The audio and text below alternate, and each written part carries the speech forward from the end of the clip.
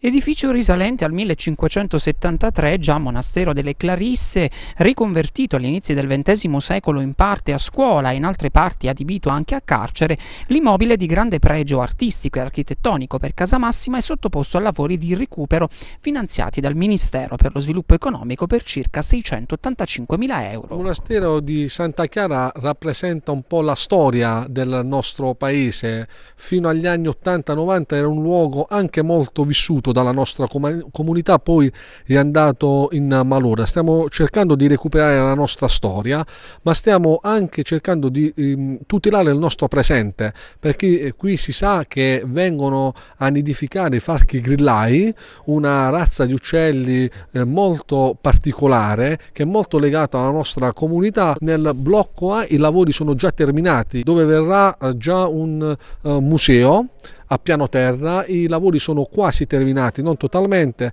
mancano gli ultimi dettagli, mentre adesso partiranno i lavori per restaurare il, la parte esterna, questo atrio oh, molto singolare, molto bello e tutta la parte del blocco B. Rappresenterà il futuro della nostra comunità, un luogo di aggregazione, un luogo in cui poter coltivare la cultura, eh, l'arte, la nostra storia, le nostre eh, tradizioni.